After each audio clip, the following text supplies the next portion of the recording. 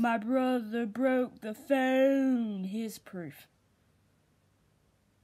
That's the phone in the I broke my brother broke an iPhone 7 video.